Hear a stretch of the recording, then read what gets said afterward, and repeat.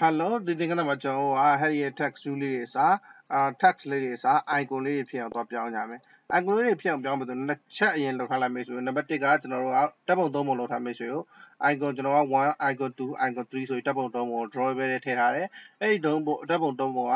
အမြင့်နဲ့အကျယ်က 36dpt ရှိတယ်ပြီးတော့ဒုတိယတစ်ချက်ကကျတော့မိတ်ဆွေ layout file တစ်ခုတည်ဆောက်အောင်မယ်ကျွန်တော်ကတော့တည်ဆောက်ပြီးသွားပြီ layout ထဲမှာမှာ custom tab layout ဆိုတဲ့ဒီ layout file တည်ဆောက်ရမယ်အဲ့ဒီ layout file ထဲမှာဘာရှိလဲဆိုတော့ကျွန်တော်က linear layout တစ်ခုရယ်အဲ linear layout ကို root view ဖြစ်ထားပြီးတော့ဒီမှာ image view နဲ့ text view ဆိုပြီးတော့ view နှစ်ခုရှိတယ် image view က id က ing view text view က tv view အဲသူတို့ resource ဘာမှမပေးထားဘူးဘာမှမပေးရတဲ့ကြောင့်ဒီမှာဘာမှမမြင်ရဘူးပေါ့နော် okay ကျွန်တော်တို့အဲ့ file တိဆောက်ပြီးသွားရင်မိတ်ဆွေတို့ကဘာလုပ်ရမလဲဆိုတော့ဒီက icon file လေး၃ခုကို initialize လုပ်ပေးရမယ်ပမာလဲဆိုတော့ကျွန်တော်က Harry မတ်တက်မှာ ဒီမှာလာပြီးတော့ isonas icon oh, sorry in isonas icon is equal to ဆိုပြီးတော့သူ့ကိုကျွန်တော်က array ဖြစ်တဲ့အတွက်ကြောင့် square bracket ထားပြီးပြီးရင်ကျွန်တော်ဒီမှာလာပြီးတော့ r.drawable. r.drawable. ဆိုပြီးတော့ icon ico icon 1ပြီးရင် r.drawable. ဆိုပြီးတော့ ico icon 2 r.drawable. ဆိုပြီးတော့ icon 3လို့ပေးထားတာကျွန်တော်တို့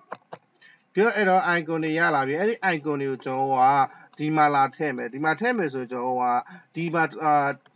ဗာလဲအာ gap page title ဆိုတဲ့နေရာမှာလာထည့်ပါလေနော်ဒီ page title အနေနဲ့ထည့်မှာ page title အနေနဲ့ထည့်တာမိတ်ဆွေတို့မှာကြည့်လိုက်ရင် gap page title ဆိုတဲ့ method ကသူက character sequence တစ်ခုကိုပဲ return page ချင်းလက်တင်ခံတယ်ဓာတ်ပုံကိုလက်တင်မခံဘူးအဲ့တော့ကျွန်တော်ကဓာတ်ပုံကိုလက်တင်ခံအောင်လုပ်ချင်တယ်ဆိုရင်ကျွန်တော်က spanable string ဆိုတာရှိတယ် spanable string ဆိုတာရှိတယ် Java မှာ spanable string ကစာရနဲ့ဓာတ်ပုံကိုရောလို့ရတယ် သူကကျွန်တော်တို့ကဓာတ်ပုံတွေကိုလည်းစာသားအဖြစ်ပြောင်းပြီးတော့လမ်းပို့ပေးမှာအဲ့တော့အရင်ဆုံးကျွန်တော်တို့ဒီမှာဘာလို့လုပ်ရမလဲဆိုတော့ drawable object တစ်ခုတည်ဆောက်ရမယ်တတိထားပါ gap page title ဆိုတဲ့ method ထဲမှာ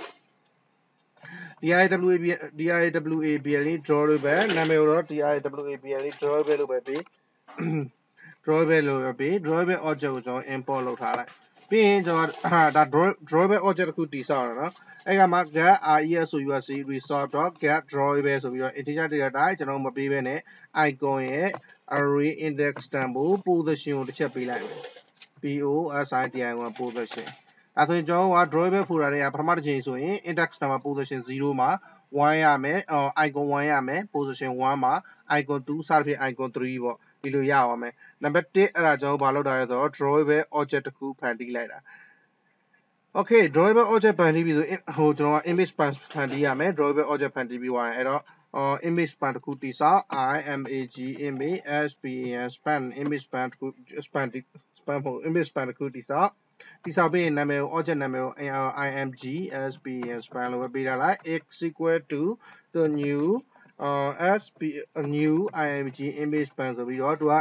image ဟိုကျွန်တော်တို့အပေါ်မှာရလာတဲ့ drawable object ကို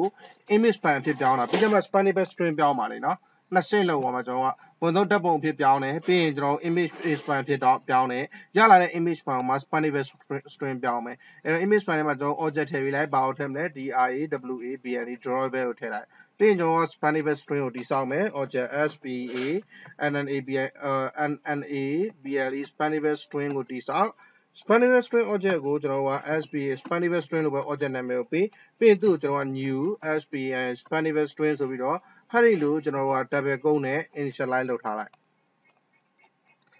ရပြီเนาะအဲ့ဒါဆို spanable string object ရပြီအဲ့ဒီ object မှာမှကျွန်တော်တို့က drawable ကျွန်တော်တို့ရလာတဲ့ image span ကိုလာထည့်တော့မယ်အဲ့တော့ span span spanable string.set set span ဆိုပြီးတော့ဘာထည့်မှာလဲကျွန်တော်တို့ထည့်မှာဒီမှာ parameter က၄ခုလို့တယ် stat ရယ် and ရယ် flag ရယ်အဲ့တော့ဘယ်ဘယ်ကနေဟိုဘာကိုစဘာကိုထည့်မှာလဲဘယ် object ကိုထည့်မှာလဲဘယ်ကနေစထည့်မှာလဲဘယ်မှာအဆုံးတက်မှာလဲ flag ကဘယ်လောက်လဲအဲ့ တော့ကျွန်တော်ကစတဲ့ထည့်မဲ့ပုံက img အကြောင်းကကျွန်တော်က spanable image ပြောင်းလာတဲ့ကျွန်တော် drawable ပုံကိုထည့်မယ်နံပါတ်2ကကျတော့ကျွန်တော်0 step point က end point ကဘယ်လောက်ထိရှည်မှာလဲဆိုတော့ spanable string ရဲ့ length လောက်ထိရှည်မယ်လို့ကျွန်တော်ပြောလိုက်ပြောပြီးတော့ရင်နောက်ဆုံးကကြတော့ကျွန်တော်က flat ထည့်ပေးရမယ်ဒီ flat ကကြတော့ကျွန်တော်က spanable string object တိစောက်တဲ့အခါကျရင်ဟို spanable object string ရဲ့ရှေ့ဟိုထိတ်ဆုံးနဲ့နောက်ဆုံးတန်ဖိုးတွေရဲ့ အပြင်ကတန်ဖို့မပါဘူးပြောချင်တာဥပမာဆိုကြပါစို့ဒီကကျွန်တော်တို့ဓာတ်ပုံရဲ့စာသားပေါ့အဲ့စာသားရဲ့ဒီဒီကောင်လေးက Spanish string ဆိုတဲ့စာသားလေးကကျွန်တော်ဓာတ်ပုံကိုကိုစားပြုတဲ့စာသားလေးဖြစ်ခဲ့ရင်အဲ့စာသားရဲ့ရှေ့ရဲ့နောက်ရဲ့မပါဘူးအဲ့စာသားကြားတဲ့အားလုံးပါတယ်ပေါ့အဲ့အားလုံးကကျွန်တော်တို့ယူမဲ့ဓာတ်ပုံဆိုပြီးပြောပေးရမယ်အဲ့တော့သူ့ကိုကျွန်တော်က span span underscore exclusive exclusive ဆိုပြီးတော့ span exclusive ကိုထည့်ပေးလိုက် exclusive တဘောတရားအဲ့လိုကျွန်တော်ပြောတာရှေ့ကတန်ဖိုးပါအောင်နောက်ကတန်ဖိုးပါအောင်ဒါပေမဲ့တိတ်တော့မရှိဘူးမိတ်ဆွေမပူနဲ့ဒီ spinal string အကြောင်းကျွန်တော်တို့တင်ကန်းတာအတစ်ထပ်လုပ်ကြမယ်နော်အဲ့တော့ရပြီဆိုရင်ကျွန်တော်ဘာကို return ပေးုံနေမယ်လဲ spinal string object ကို return ပေးလိုက် spn spinal string ဆိုပြီးတော့အဲဆို spinal string က character sequence ကိုလည်း implement လုပ်ထားတဲ့အတွက်ကြောင့်ဒီကောင်ကို return ပေးလို့ရတယ် character sequence အစား ပြီးရင်ကျွန်တော်ကဘာအားလုံးပြီးသွားပြီဒါဆိုရင်စာအခုဒီစာသားလေးနေရာစာသားလေးနေရာမှာစာသားကို return မပေးဘဲနဲ့ကျွန်တော်ဓာတ်ပုံကို return ပေးလိုက်ပြီဒါပေမဲ့ကျွန်တော် setting ချစရာတချို့တော့ရှိတယ်ဓာတ်ပုံကို return ပေးပြီဆိုရင်အဲ့တော့အဲ့တော့ကျွန်တော် setting ချရမှာဒီမှာလာခဲ့လိုက်လာပြီးတော့ tab မှာဒီ tab မှာ view page မခေါ်ခင် tab tab.set cusd1 custom custom text view တစ်ခုတည်ဆောက်မယ် custom text view ကကျွန်တော်ဘာကိုတည်ဆောက်တာလဲဆိုရင်ဟိုအခုကျွန်တော်တို့ကအာ icon ဓာတ်ဟိုစာသားလေးစာ icon လေးဝင်လာတော့မှာအဲ့ဒီ icon လေးတွေကိုဘယ်လိုနေရာချမလဲဆိုတော့ဒီမှာတစ်ချက်တက်မှတ်ပေးရတာအာဟိုလေးယောက်ပုံစံတက်မှတ်ပေးရတာအဲ့ဒီလေးယောက်ကကျွန်တော်အဆုံးအတိဆောက်ခဲ့တဲ့ဒီလေးယောက်ပဲလေနော်အဲ့တော့အဲ့လေးယောက်ကိုညွှန်ပေးလိုက် to r. လေးယောက် dot ဆိုပြီးတော့လေးယောက်နာမည်က custom text လေးယောက်ပြီးရင်ကျွန်တော် text view ကိုလည်းညွှန်ရတယ်အဲ့လေးယောက်တည်း text view ကိုလည်းအဲ့တော့ tv view ပေါ့ကျွန်တော်က r.id.dvview ကဲအဲ့တော့ custom tab view custom tab ကိုကျွန်တော်တိဆောက်ပြီးသွားပြီပြီးသွားရင်ကျွန်တော်က custom tab view ကိုတိဆောက်ပြီးရင်အာ custom tab view မှာကျွန်တော်တို့အော် set custom text view ပြီးတော့ custom tab view တိဆောက်ပြီးသွားရင် distributed evenly ကျွန်တော်တိဆောက်အောင် distributed evenly ဆိုတော့ခဏထားလိုက်အောင်ကျွန်တော် ခု save order channel မိတ်ဆွေကိုဘေးရအောင်လုပ်ပြမယ်ဘယ်လိုပုံစံရှိလဲဆိုတော့မိတ်ဆွေတို့တစ်ချက်ကြည့်ကြည့်အဲ့ဒါမှကျွန်တော်တို့ပြင်တစ်စင်းစီပြင်လို့ကောင်းပါ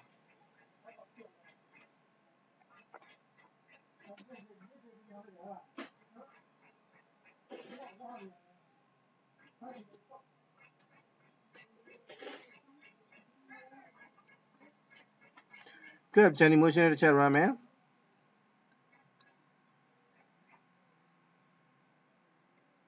အခုကျွန်တော်ကြည့်လိုက်ရင်ဒီမှာထပ်တစ်ခုစီကမြင်းချောင်းအရှိကြီးဖြစ်နေတော့မလားအဲ့မြင်းချောင်းအပေါ်ကမြင်းချောင်းအရှိကြီး1ကလည်းအရှိကြီး2ကလည်းအရှိကြီးအော်3ခုလုံးစာတော့တစ်ခုတည်းကယူထားတာအဲ့ဒါကိုကျွန်တော်တို့က3ခုလုံးစာတော့တစ်ခုတည်းကမယူအောင်လုပ်တဲ့နည်းရှိတယ်အဲ့ဒါကတော့ကျွန်တော် tab မှာ distributed evenly ဆိုတဲ့ကောင်ထည့်ပေးရမယ်အဲ့တော့ tab tab. uh di uh set distributed evenly ကို true ထားပေးလိုက်အဲ့တော့ဒီ tab set distributed evenly ကို true ထားလိုက်တာ ਨੇ ကျွန်တော်အပြောင်းလဲရှိလာပြီပြန် run ပြီးတော့ချက်ကြည့်ကြည့်မယ် okay Jenny motion နဲ့ run မယ်လို့ပြော There we go အဲ့တော့ကျွန်တော်1 2 3ဟိုမှာအပေါ်ကမြင်းကြောင်းလေးရကြည့်တာ3ခုစာကိုကိုစားပြုနေအဲ့အပေါ်မှာအရွယ်စားမရှိသေးဘူးအရွယ်ဟိုဓာတ်ပုံတွေမပေါ်သေးဘူးဘာလို့မပေါ်လဲဆိုတော့ကျွန်တော်က drawable object ကိုအမြင့်နဲ့အကျယ်တက်မှတ်ပေးရမယ် starting point နဲ့ ending point အဲ့တော့ဘာမှတက်မှတ်မလဲဆိုတော့မိတ်ဆွေတစ်ချက်လာခဲ့ပြီးရင်ကျွန်တော်တို့ကအောက်ဆုံးကိုတစ်ချက်ဆင်းဆင်းပြီးတော့ကျွန်တော်တို့ရဲ့ page title text မှာ drawable object တိဆောက်ပြီးနောက်ပိုင်း drawable.sub bounds bound ဆိုပြီး boundary ဖန်တီးမယ် left right ပြီးရင်တို့ကျွန်တော် button နဲ့ height ကိုရ width နဲ့ height ဟို button နဲ့အာ right နဲ့ button နဲ့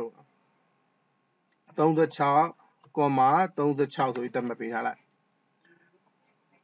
stat အဲ့ရင် width ရဲ့ height ရဲ့ပေါ့ဗျာနော်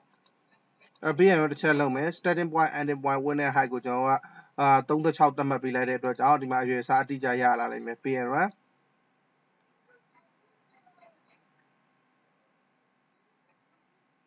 อืมအရွယ်အစားတော့ရလာတယ်ဒါပေမဲ့ပုံကမပေါ်ဘူးဖြစ်နေကျွန်တော်ဘာကြောင့်ပုံမပေါ်လဲတော့ကြည့်ကြမယ် Okay ပုံမပေါ်ရတဲ့အကြောင်းရင်းဒီကောင်းကြောင့်ဖြစ်နိုင်တယ်တို့ကကျွန်တော်တို့ကဘာလဲဟိုနားပါရာမီတာလက်တင်မခံဘူးအဲ့တော့ကျွန်တော် space bar တစ်ချက်ခံပေးလိုက်ဒီမှာ Spanish best string မှာ space bar တစ်ချက်ခံလာလိုက်အဆုံးကဒီတိုင်းရှိတာပေါ့ကျွန်တော်ဒီတိုင်း space bar ချလိုက်တာအခုကျွန်တော်နားပါရာမီတာတစ်ခုပေးရင်ရောပုံစံဘယ်လိုနေမလဲတစ်ချက်တော့ကြည့်မယ်အာโอเคရလာပြီကျွန်တော်တို့ရဲ့ image view 3ခုအော်ကျွန်တော်ပြင်လိုက်တာဒါလေးပဲเนาะအဆုံးကကျွန်တော်က Spanish string ကိုနားလောက်ထားတယ်အဲ့ဒါကိုမှကျွန်တော် space bar တစ်ချက်ချပြီးလိုက်မှာအဲ့ကြမှာသူကအလုပ်လုပ်သွားတယ်เนาะ အဲ့တော့ဒီမှာတစ်ချက်ကြည့်ကြည့်လိုက်ကျွန်တော်တို့က page 1 page 2 page 3ပေါ့အော် okay page 3ပေါ့ဟိုဘက်ကဟာတော့နှိမ့်ပြီလို့အဲ့တော့ကျွန်တော်ဘာလုပ်မလဲဆိုတော့ပုံတွေတော့ဟုတ်ပြီပုံတွေကိုကျွန်တော်ကစန်တာကိုပို့ရမယ်ပြီးရင်ကျွန်တော်ကပုံတွေကိုပတ်တင်ကန်ပေးရမယ်เนาะအဲ့တော့စန်တာကိုပို့မယ်ဆိုတော့ layer gravity ကိုစန်တာထားအပေါ်အောက်ကိုလည်းစန်တာထားပေါ့ အဲ့တော့ layout gravity ကို center ဆိုတော့ Android ရဲ့ layout gravity ကို center ပြောင်းမယ်ပြီးတော့ pattern ကံမှာဆိုတော့အားလုံးကို PDDING pattern ကို 8dp လောက်ကန်ပေးလိုက်မယ် 8dp လောက်စေရောတစ်ချက်နှိပ်ပြီးရင်ကျွန်တော်တစ်ချက်လာ run ကြည့်လိုက်မယ်ပုံစံအပြောင်းလဲဘယ်လိုရှိလဲလို့ကြရပြီပြီးရင် run လုပ်လိုက် Okay အခုတော့နည်းနည်းလေးပိုလှလာပြီကျွန်တော်ဓာတ်ပုံသုံးပုံရလာတယ် အဲ့ဒီဓာတ်ပုံသုံးပုံက center ကိုတော့မကြသေးဘူးဆိုတော့မိတ်ဆွေတို့တွေ့ရလိမ့်မယ် Okay text ကတော့ကျွန်တော် center ကြရမှာမကြဘူးအဲ့ဒါဆိုကျွန်တော်ဒီမှာလာပြီးတော့ Android ရဲ့ GIVND gravity ကို center လို့ချက်ထားကြည့်မယ် CND ရဲ့ center အဆုံး text view တစ်ခုလည်းပြောင်းလို့မရတဲ့ပုံစံပါအောင်လည်းအခုကအဲ့ center လို့ပြောင်းပြီးပြီးရင်တစ်ချက်လုပ်ကြည့်မယ် center ကြသွားလာလို့ခဏဆောင်း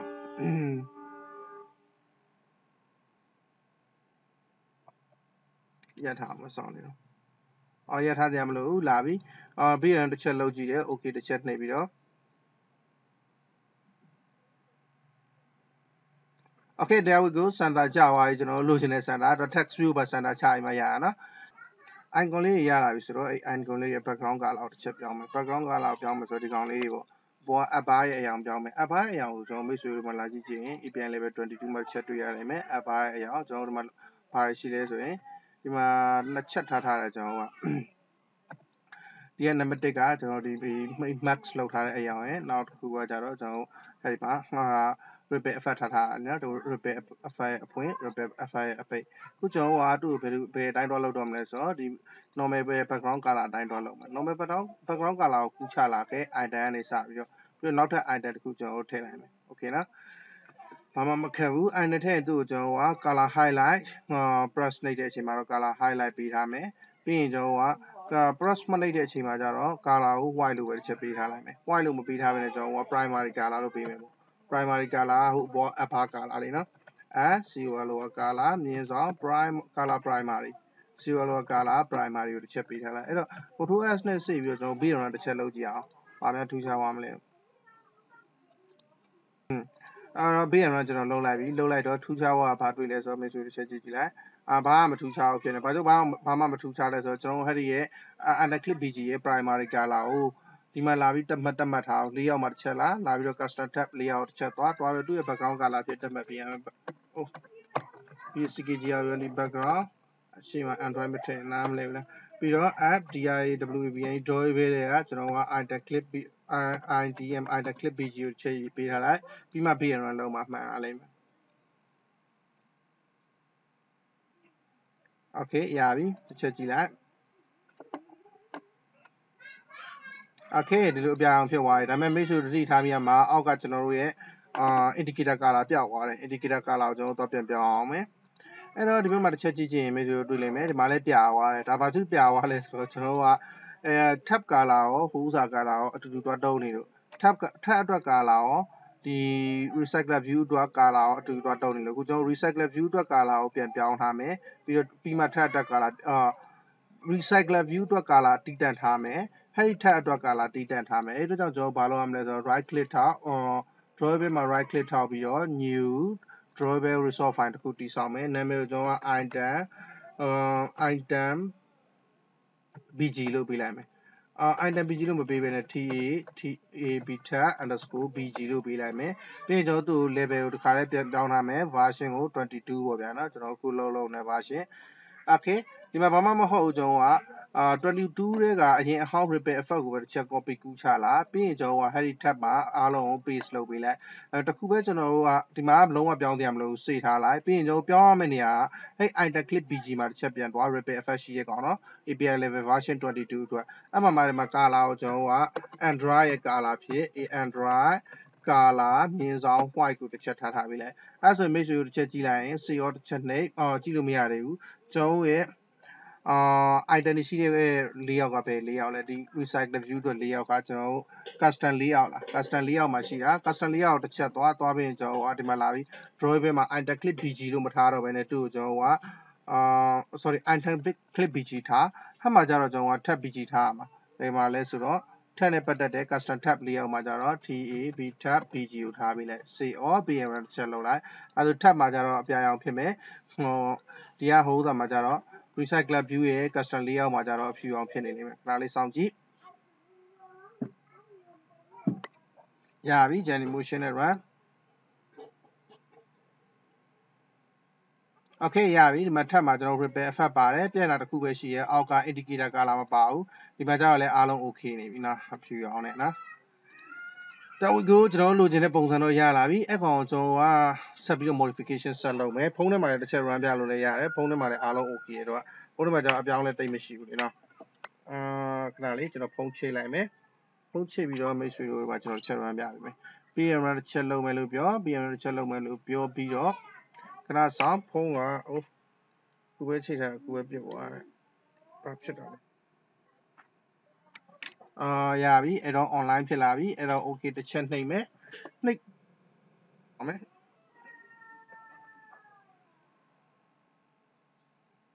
အာ okay ဖုန်းမှာတစ်ချက်ပြတ်နေတယ်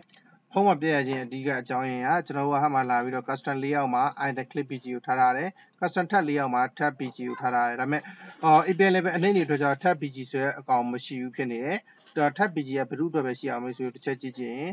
tab tab pg က API level အမြင့်အတွက်ပဲရှိမှာ item clip pg ရဲ့ tab bg က22အတွက်ပဲရှိရဖြစ်နေတော့အဲ့တော့ကျွန်တော် right click ထောက် new android resource file တစ်ခုတည်ဆောက်ပြီးရင်ကျွန်တော်တို့ tab underscore bg ဆိုပြီးတော့ထပ်တိဆောက်ပေးမယ်ဒါပေမဲ့ဒီတစ်ခါကကျတော့ version control မလုပ်တော့ version control မလုပ်ဘဲနဲ့ထပ် bg လိုပဲတိဆောက်ပြီးတော့ပုံမှန်အတိုင်းပဲကျွန်တော်တို့ဘယ်ဟာပဲယူမလဲဆိုတော့သူ့ရဲ့ item clip bg ရဲ့ဟာကိုပဲတစ်ချက်ယူထားမယ် copy ကူးမယ် ပြီးရင်ကျွန်တော်တို့ခုတိဆောက်လိုက်တဲ့ tab bg ကိုသွား tab bg tab bg အာ tab bg ဒါ APN level 22အတွက်မဟုတ်ပါဘူးအဲ tab bg 2ကိုဒီမှာတစ်ချက် control paste လုပ်ထားလိုက်တော့ color white တော့မဟုတ်တော့ဘူးဒီမှာကျတော့ android color ကို primary လို့ဟို app color primary app color တွေက prime color primary ကိုတစ်ချက်ရွေးပြီးထားလိုက် control s save လားအမေဆိုကတစ်ချက်နားလဲရင်ကျွန်တော်ထလောင်လွယ်ပါအောင်မယ်ကျွန်တော်ကကျတော့နည်းနည်းရှုပ်သွားလို့ ရှုပ်တယ်မဟုတ်ခဏရက်လိုက်ရအောင်အဲ့တော့ Jenny motion နဲ့ပြီးရင်လောက်ပြမယ်အားလုံးအဆင်ပြေနေလိမ့်မယ်ဘာမှပြန်တာမရှိဘူးဒီမှာကြည့်တာအားလုံးအဆင်ပြေတယ် repair effect ပေါ်တယ်ဒီမှာ repair effect ပေါ်တယ်ပြန်လာတစ်ခုက indicator မရှိတာပဲအဲ့ဒါတော့ရှင်းရမှာအဲ့တော့ BM တစ်ချက်ထပ်လုပ်မယ်ဒီတစ်ခါကျတော့ကျွန်တော်ဖုန်းနဲ့လုပ်ပြမယ်မိတ်ဆွေတို့ Coupon online ဆိုတော့ BM တစ်ချက်လုပ်လိုက်မယ် there we go အမှားမရှိဘူးအားလုံး okay တယ်မိတ်ဆွေတို့ကျွန်တော်တစ်ချက်ပြပေးမယ် screenshot ရိုက်လိုက်မယ် okay ဒါကျွန်တော်ရဲ့ဖုန်းပုံမယ် minus minus minus ဆိုပြီးတော့ဆွဲချအောင်မယ်ဒီပုံလေးရရတယ်ကျွန်တော်အခု swipe လုပ်လိုက်မယ် swipe လုပ်လိုက်ရင် swipe လုပ်လိုက်တဲ့အတိုင်းပဲ refresh ပြန်လုပ်လိုက် okay ကဲအခုကျွန်တော် draw ကိုတစ်ချက်ဖွင့်ချလိုက်မယ် draw ဖွင့်ပြီးတော့ကျွန်တော်ဒီမှာတစ်ချက်ပြပေးမယ် draw ဖွင့်ပြီးတော့ reload ပြန်လုပ်ပေးမယ်အဲဒါ draw ဖွင့်တဲ့ပုံလေးပေါ်လာပြီ okay အားလုံး okay နေပေါ့ဗျာနော်အဲ့တော့ကျွန်တော်က cancel ချက်နှိပ်လိုက်တော့မယ် okay အဲ့တော့ indicator color ပြအောင်လဲကျွန်တော်က channel အားလုံး okay ရယ် repair effect လေးလည်းရတယ်အေး အောက်က indicator ရဲ့ indicator လေးပြအောင်လဲအဲ့ဒါဘာကြောင့်ဘာကြောင့်ပြောင်းလဲဆိုတော့ကျွန်တော်လိုက်ရှာကြည့်တော့အေးဒီနေမှာတန်တွင်းနေလို့အာဘာကြောင့်ပြောင်းနေလဲလိုက်ရှာကြည့်တော့ကျွန်တော်တို့ကအဲ့ဒီမှာ APN level 22တော့ကျွန်တော်က tab BG ကိုပေးထားတယ်ခွာလဲ tab BG သူ့မှာကျွန်တော်က APN level 22ရဲ့ tab BG သူ့မှာကျွန်တော်ကဒီ item တွေပါတာ item တွေကိုတစ်ချက်ဖြတ်လိုက် tab BG မှာကျွန်တော်ဒီမှာလာပြီးတော့အားလုံးကို color primer တွေ highlight တွေမထားတော့ဘူး max တခုပဲထားခဲ့မယ် API level 22အတွက်ထပ်ပြီးကြည့်နော်ပြီးရင်စေးလိုက်စေးပြီးတော့ကျွန်တော်ကအမှ color မထားပဲနဲ့ဒီမှာ color color လာထားမယ် tb tab.sbckg အောင်ဒီ background color တို့ကျွန်တော်ကအာ get resource ဟိုတဲ့အနေတော့ get resource get resource.get color ဆိုပြီးတော့ r.